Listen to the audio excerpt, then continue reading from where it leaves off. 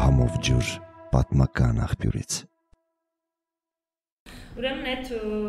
ասուլիսին, հա, հարցազրույցին։ Ուրեմն այս մարդն ասում է, որ կա տոտալ անվստահություն դատական համակարգի նկատմամբ։ Պարոն Նիկոլ Փաշինյան, հա, Ես ուզում եմ քեզ տեղեկացնել, որ այս իշխանազավթումից հետո դատական համակարգի նկատմամբ վստահությունը ավելացել է։ Որովհետև այ քո ասած նախկին կոռումպացված, չգիտեմ ինչ ռեժիմից եկած դատավորները իրանք արդեն անկախ են քեզնից եւ իրենք փառք Աստծո չեն ծառայում քո իշխանությանը։ Միակ միակ դատական համակարգը ես։ Միակ դատական համակարգ դատարանը, որը որ այսօր անվստահություն ավայելում դա Աննա Դանիբեկյանն է։ Հիմա ես այստեղ ուզում եմ մեր հարության հիշեցնել, թե ինչ է տեղի ունեցել։ WikiLeaks-ը կատարել էր հրապարակումներ, որտեղ խոսվում էր, հա, հրապարակումներ էր, բան, ԱՄՆ դեսպանի հրապարակումներն էր հանրության ներկայացնել, որտեղ խոսվում էր, որ մարտի 1-ին Ստյոպա Սաֆարյանը եւ Անահիտ Բախշյանը ունեցել են մեծ դերակատարում հանրության մեջ ինչ որ դժգոհության ալիք առաջացնելու եւ հանրության մեջ խժդժություններ առաջացնելու հարցում։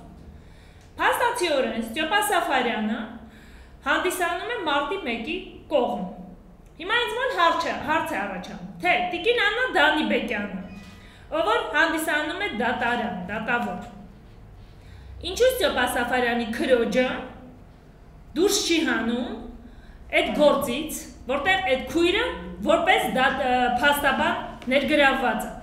Չէ՞ որ այստեղ կա արդեն հակասություն։ Հիմա Տիկին Աննա Դանիբեկյան, այդ պետքա ինչ որ դիմենք, հա, ես դիմեմ, մեկը դիմի, չգիտեմ, մարդիկ դիմեն, թե դու ինքդ կֆայեմ ես, որ այդպես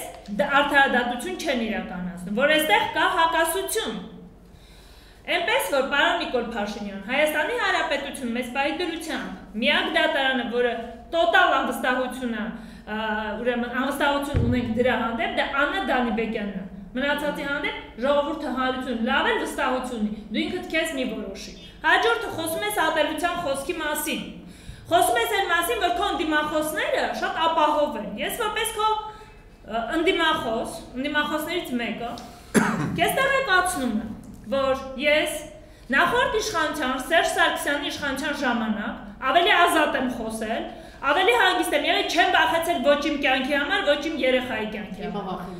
Այսօր ինձ սպառնում են, ես դիմել եմ ոստիկանություն եւ ես հույս ունեմ, որ ոստիկանությունը ճիշտ քայլեր կձեռնարկի եւ քրեական գործ կհարուցի։ Սպառնում են ինձ։ Քո պաշտոնատար անձինք սպառնում են իմ երեխային։ Ինձ զանգեր են հնչում, էլի սպառնալիքներով։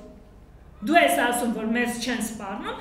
Սա տեղյակ նորից եմ ասում, ես եղել եմ ոչ մեկ չի կարող ասել, որ այդպես չի եղել։ Ես եղել եմ խիստ ընդդիմախոսներից մեկը նախորդ իշխանության, բայց ես չեմ վախեցել։ Ես հիմա էլ չեմ վախենում, ասեմ իմանաս, ես վախ չունեմ։